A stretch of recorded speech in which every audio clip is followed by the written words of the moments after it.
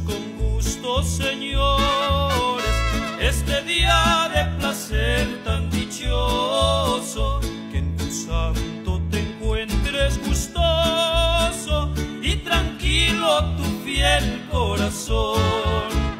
Vive, vive feliz en el mundo, sin que nadie perturbe tu mente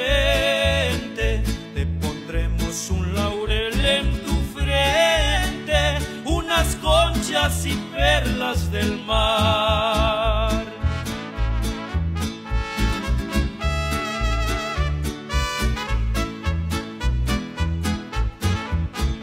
Dios bendiga este día bendito